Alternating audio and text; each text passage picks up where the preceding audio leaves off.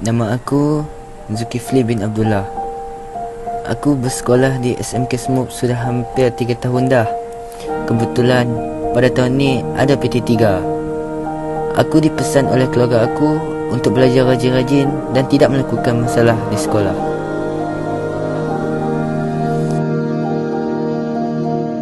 Zul, jangan tidur. Hmm, begitulah. Kebetulan 17 Mac 2020 kami diberikan oleh sekolah cuti seminggu. Pada masa itu aku berasa sangat gembira disebabkan dapat bercuti. Bagi aku di rumah aku dapat melepaskan rindu kepada keluargaku. Tiba-tiba Kerajaan memutuskan untuk melaksanakan perintah kawalan pergerakan mulai 18 Mac 2020 iaitu lusa perasaan aku pada ketika itu bercampur baur kerana tidak memahami apa yang sedang berlaku. Dan aku merasakan ada sesuatu yang tidak kena. Aku meneruskan kehidupan harianku seperti biasa di rumah. Pada setiap minggu, polis melakukan rondaan di curug-curug kampung.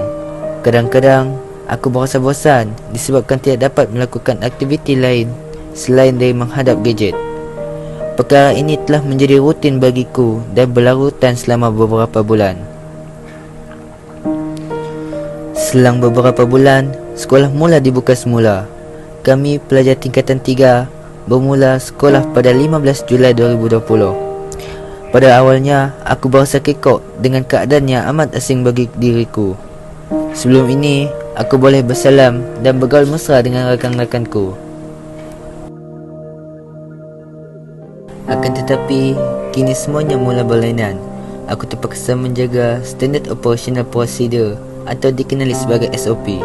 Muka aku ditetapkan dengan pelitup muka. Tanganku pula disanitasi dengan menggunakan cecair sanitasi yang kini menjadi norma baharu bagiku. Aku tidak dibenarkan bersalaman malah hanya mampu untuk tuduh hormat saja kepada orang di sekelilingku. Dulu, aku boleh bermain futsal sepuas hatiku tetapi kini semuanya tinggal kosong. Dulu aku dapat makan bersama kawanku. Tapi sekarang dah tak boleh dah.